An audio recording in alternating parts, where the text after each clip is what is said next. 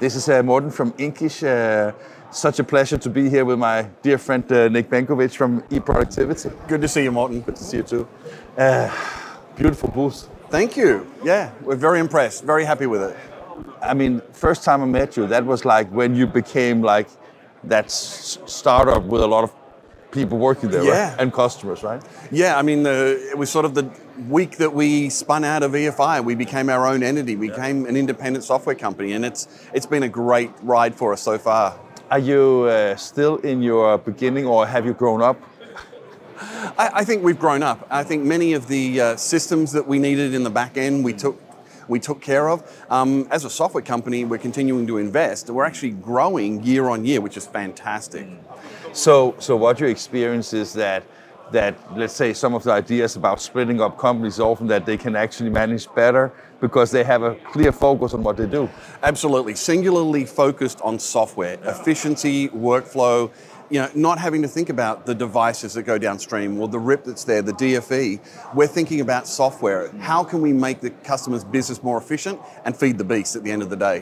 When I met you last time in Indianapolis, you gave some examples of how fast you're also being able to develop new solutions by also collaborating with other companies, right? Yeah, absolutely. You know, the first one out of the gate was HP. That's working fantastically well. We recently announced the, the partnership with Eco3. Uh, they're a fabulous partner to work with. Great footprint here in Europe, developing footprint in the US. Um, the team is incredible. We've had our developers working together, sharing technology roadmaps, thinking about how we can benefit the customers in real workflow situations. And I mean, uh, as a VP for product for your product portfolio, one thing is that you have to manage the software that you do, but I guess that it's also looking about what is next and, and how do we get ahead of the league uh, with everything you do, right? A- absolutely. It's many of it's thinking about the things that people aren't thinking about. I didn't know I needed until I saw it. Yeah. Um, you know, it's like the iPhone. Yeah. 20 years ago, no one would have thought of it, but today it's indispensable. We're looking at how do we develop the technology that people aren't thinking about, the problems they're going to face a year from now, three years from now. As the business speeds up, the market just speeds up. Uh, I don't know if you have time, but just behind us down here, the CIP4 is Yes. uh, releasing uh, their new, uh, I think it's uh, version 18. Yes. Did you have time to talk to them? Oh, absolutely. And in fact, I'm uh, still the CFO of CIP4. so uh, okay. actively involved in CIP4. JDF is still a big part of what we do. Um, but in many cases, we want to take it beyond that. So the work we do with Apogee, for example.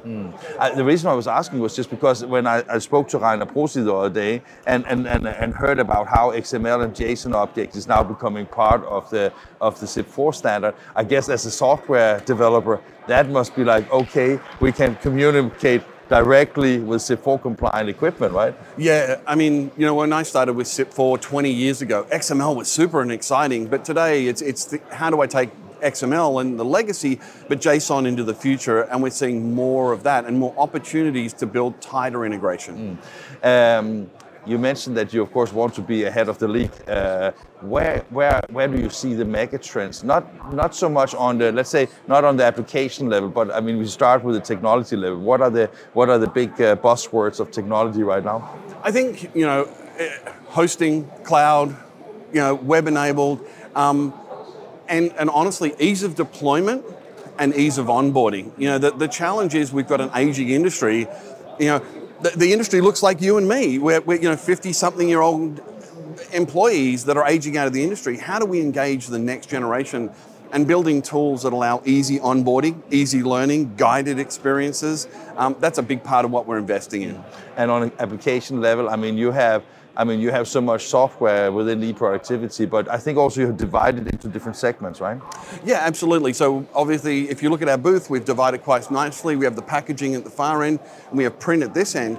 Because they, there are some overlaps, obviously scheduling, data collection are an overlap, but the needs of a flexible packaging customer is somewhat different than someone who publishes books, for example, or prints books.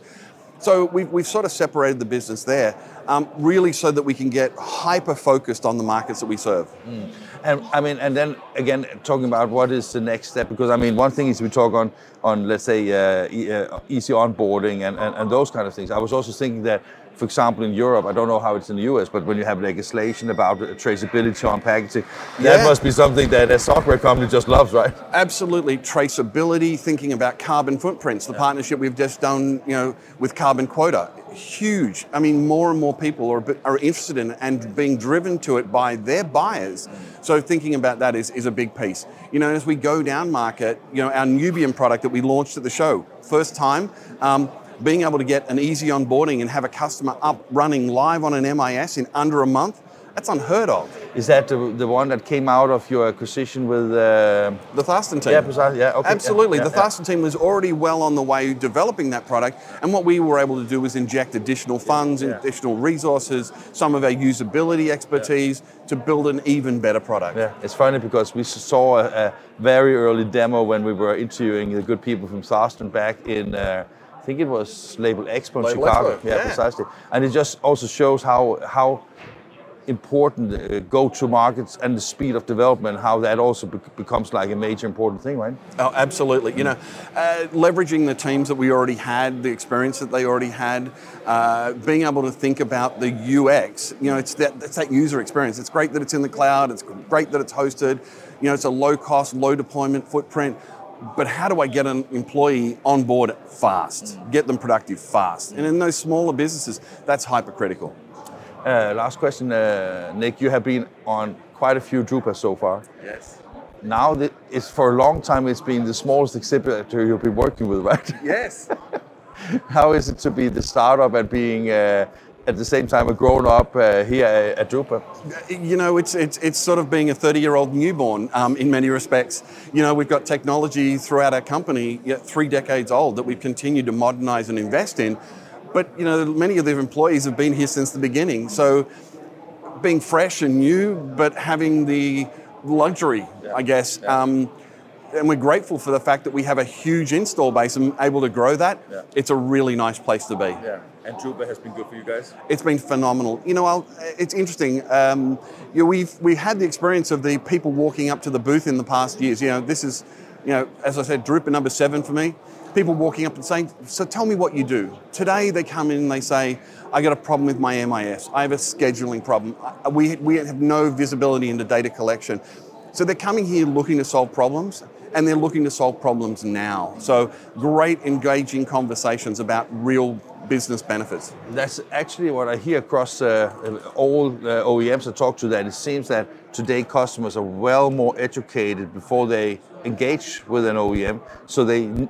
I mean, kind of qualify the discussion before they enter, where maybe they were more in the search in the in the past. Is also that you see generally, or was it just on a trade show, or I I think generally they are. I think you know the internet has sort of brought it home, for- especially from a software company perspective. They can go online, they can watch videos, they can see testimonials, they can see all the value. Download demos sometimes Yeah, in right? many Yeah, yeah, cases. yeah. And so this is really the confirmation. I know many customers have come here and they've got a shopping list. They've got two or three, four vendors that they want to come and see. And then they'll incidentally run into something else as they wander around the show. But it's very specific and targeted. And instead of coming for six, seven, eight days, they're here for three or four days. They see what they need and they're gone. you wish you were gone after three days, right? Absolutely not. You know, it's interesting. The, the weekend got a little bit quiet, but um, the energy every morning we get here, customers show up, the team's always energized. So I'm loving it. I'm here till the end. Fantastic. Thank you, Nick. Great. Thanks, mate.